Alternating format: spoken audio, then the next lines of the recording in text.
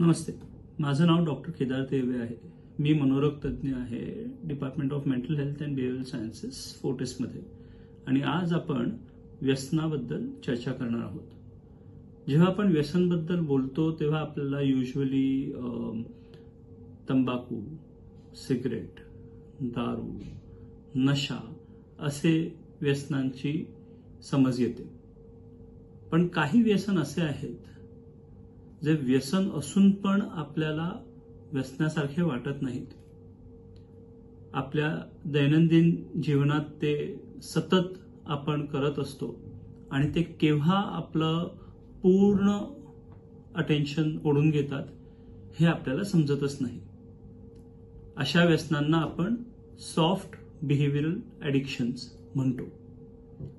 सरळ ट्रान्सलेट करायचं झालं तर मऊ वार्तनाचे व्यसन. सॉफ्ट बिहेवियर ॲडिक्शन्स म्हणजे अशा गोष्टी ज्या आपण नेहमी करतो. पण जर सतत ती एकच गोष्ट करत राहिलो तर त्याच्यामुळे आपल्या पूर्ण जीवनात खळबळ मसते त्या गोष्टीमुळे आपण बरेच वेळा आपले घरच्यांना नजरअंदाज करतो आपले रिस्पॉन्सिबिलिटीज आणि आपल्या कामाला नजरअंदाज करतो त्याच्यामुळे आपल्या शरीरावरती हानिकारक असे परिणाम होतात. आणि ह्या गोष्टींना आपण सॉफ्ट बिहेवियर ॲडिक्शन्स म्हणतो.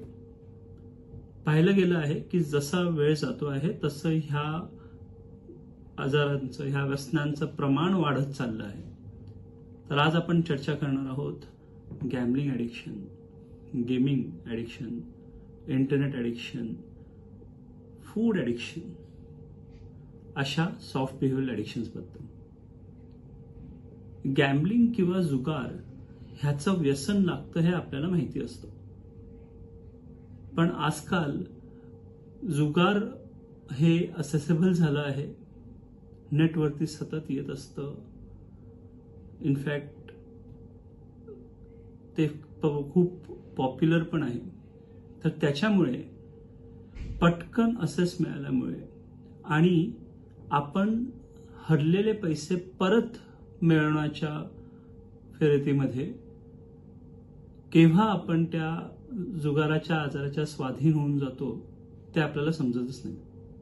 आणि मग त्याच्यानंतर पैसे कमवणं किंवा रिलॅक्स करणं हा प्रकार नसून आपण त्या आजाराच्या इतके स्वाधीन जातो की आपल्याला केव्हा रागराग चिडचिड होते किंवा छोट्या छोट्या गोष्टींवरून आपण एकदम भडकतो जर आपल्याला तो ते व्यसन किंवा ते ती बिहेवियर परत करायचा चान्स मिळाला नाही तर आपण बरेच वेळा आपल्या कामाची दांडी मारतो.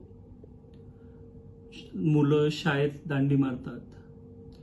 बरेच आर्थिक संकट येतात. हे पाहिलं गेलं आहे. आणि जर तुम्ही हे जाणून बुजून करत असाल जेव्हा तुमच्या घरच्यांना तुम्हाला स्वतःला किंवा तुमच्या कामावरती ह्याचा परिणाम पडत असेल तर त्याला आपण जुगाराचं व्यसन म्हणू. गॅमलिंग ॲडिक्शन हे आपल्याला माहिती असतं आणि तसंही आपण त्याच्यावरती जास्त शांततेने पाहत नाही. चिडतो. कोणी जर जुगार वगैरे खेळत असेल तर. पण एक असा आजार आहे जो आपण सतत करतो आणि आपल्याला समजत पण नाही की आपण त्याच्यावरती किती तास घालवले एकोणीसशे नव्वद पर एकोणीसशे नव्वद पर्यंत आपल्याला इंटरनेटचा वापर नव्हता.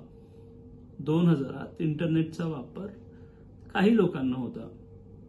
पण गेल्या दोन दशकात इंटरनेटचा यूज इतका झाला आहे की आता प्रत्येक गोष्टीवरती नेट असतो. आणि आपण नकळत त्याच्यावरती चार पाच सहा तास दिवसाचे घालवतो. जागतिक महामनमुळे तर हे जे वेळ आहे जे आपण इंटरनेटवरती घालवतो ते तर आणखी वाढलं आहे कारण वर्क फ्रॉम होमच्या स्थितीमध्ये आपल्याला समजतच नाही की आपण किती तास त्याच्यावरती घालवतो आहे. पण इंटरनेटचं पण व्यसन लागू शकतं. शक्य आहे की तुम्ही इतके इतका वेळ इंटरनेटवरती घालवता इतका वेळ वेबसाईट सर्फिंगवरती घालवता की तुम्ही तुमचं जेवण विसरता तुमचं काम विसरता भांडणं करता बाहेर जाण्यापेक्षा आतमध्येच राहून व्हर्च्युअल वर्ल्डमध्ये हरवता रिअल वर्ल्डमध्ये काय होतं आहे ह्याचा तुम्हाला भास पण राहत नाही. ह्याला इंटरनेट ॲडिक्शन्स म्हणतो. जर झालं आणि एकदम आपण त्याची ट्रीटमेंट केली नाही तर ह्याचे फार वाईट दुष्परिणाम बिहेवियर डिसऑर्डर्समध्ये रागराग चिटचिटमध्ये च्या रिलेशनशिप्समध्ये नात्यांमध्ये नाती तुटणे आणि काम जाणे इथपर्यंत पण गोष्टी पोचू शकतात.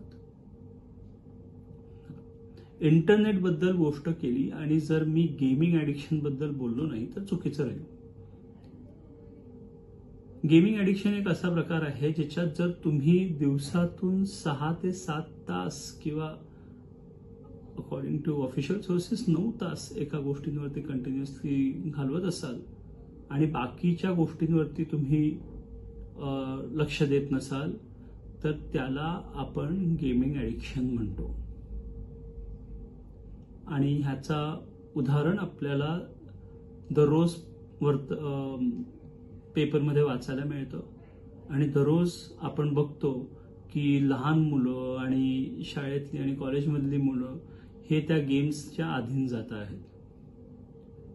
जर गेम बंद केल्यानंतर रागराग चिडचिड होत असेल ॲग्रेसिव्ह बिहेवियर होत असेल आदळ आपट करत असेल आणि जर काहीही झालं तरी परत त्या गेमला जाऊन खेळत असेल बाकीचं सगळं नजरअंदाज करून तर त्याला गेमिंग अडिक्शन म्हणतो आणि ह्याची ट्रीटमेंट असते हे लक्षात घ्या. त्याच्यासाठी डिजिटल डिटॉक्स टाइम लागतो असा वेळ लागतो जेव्हा आपण पूर्णपणे सगळे गॅजेट्स बंद करू आणि त्याच्यानंतर मुलांना समजवू शकू. पण इंटरनेट आणि गेमिंग ॲडिक्शनमध्ये जेव्हा आपण गॅजेट्स बंद करतो त्याचा एक प्रकार असतो. आणि तो हळूहळू हळू करून स्टेप वाईज सुपरविजन खाली करणं जास्त बरं असतं. कारण एकदम तुम्ही बंद केलं तर केव्हा रागराग चिडचिड होईल आणि केव्हा पेशंट तोडफोड करेल हे सांगता येत नाही. आता इंटरनेट गेमिंग आणि गॅम्बलिंग बरोबर एक अशी गोष्ट आहे जी आपण सगळेच करतो आणि ते आहे जेवण. पण काही अशी लोक असतात ज्यांना एक पर्टिक्युलर प्रकारचं जेवणच लागतं आणि ते त्यांना सूट होत नसेल तरी ते तेच तेच जेवण खात राहतात. किंवा असे इतक्या क्वांटिटीमध्ये खातात की ते त्यांना हेल्दी नसतं. त्याला आपण फूड ॲडिक्शन म्हणतो. आणि ह्याचा प्रमाण आता वाढत चाललं आहे. फूड ॲडिक्शन बरोबर एक आणखी गोष्ट आपण जरूर लक्षात ठेवायची असते की जर एक प्रकारचा पदार्थ तुम्हाला हानिकारक असेल उदाहरणार्थ तुम्हाला डायबिटीज असेल आणि कोलेस्ट्रॉल असेल आणि ब्लड प्रेशर असेल आणि जर तुम्ही फक्त आणि फक्त फास्ट फूड खाण्याच्या गोष्टी करत असाल किंवा तुम्हाला बाकी त्रास आहेत आणि तुम्ही जेवायलाच तयार नसाल आणि अतिशय फार थोडं किंवा फार जास्त पण अनहेल्दी फूड्स जे असतात ते खात असाल तर त्याला आपण बऱ्याच वेळा फूड ॲडिक्शन म्हणतो. स्ट्रेस खाली असाल चिंतेखाली असाल तर त्याचं सेवन वाढतं आणि आपल्याला ते कंट्रोल करता येत नाही. फूड ॲडिक्शन ह्याच्याकडे लक्ष ठेवावं लागतं कारण हा फार हळूहळू वाढणारा आजार आहे. पण त्याचे शारीरिक कॉम्प्लिकेशन जे असतात ते खूप आहेत आणि आपल्याला त्याचा भान राहत नाही की हे केव्हा वाढलं आणि केव्हा व्यसनच्या मार्गी केलं फूड ॲडिक्शन्सबद्दल बोलत असू तर एक गोष्ट आपल्याला नेहमीच लक्षात ठेवायला पाहिजे की जेव्हा आपण मॉलमध्ये जातो तेव्हा फूड कोर्टला जायच्या आधी आपण आणखीन एक गोष्ट करतो जे पण सॉफ्ट बिहेवियरल ॲडिक्शनचा पार्ट आहे. ते असतं शॉपिंग खरेदी. खरेदीचं व्यसन ज्यांना असतं ना त्यांना ती गोष्टची गरज नसते तरी पण ते जाऊन विकत घेतलं जातं. जो थ्रिल असतो जे हर्ष त्यांना मिळतं ते एक गोष्ट खरेदी केल्याने मिळतं. त्या गोष्टीची गरज आहे की नाही हे दुसरं असतं.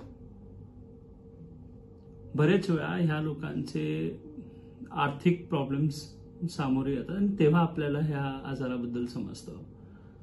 काही लोक असे असतात जे पैसे संपवतात. एक दोन तीन चार क्रेडिट कार्डचे बिल्स त्यांच्या लिमिटच्या बाहेर जातात तरी त्यांना ती खरेदी करावीच लागते. बरेचसे असे असतात ज्यांना समजतच नाही की थांबावं कुठे म्हणून त्यांच्याकडे पाहिलं तर पंधरा वीस शॉपिंग बॅग्स असतात जे त्यांना गरजेचे नाहीत किंवा शंभर पेनं असतात जे त्यांना गरजेचे नाहीत. पण ह्याला आपण खरेदीचं व्यसन म्हणतो. आणि जर ते असेल तर ते ट्रीट करणं गरजेचं असतं. कारण की प्रत्येक वेळी चिंता वाटली की असं वाटतं की जाऊन खरेदी करावं आणि खूप खरेदी करावं. आणि इतकी खरेदी होते की आर्थिकरित्या त्यांना ते सांभाळता येत नाही. आणि त्याच्यामुळे चिंता आणखी वाढते. आणि मग चिंता वाढली की परत जाऊन खरेदी होते. तर हे होते काही सॉफ्ट बिहेवियर ॲडिक्शन्स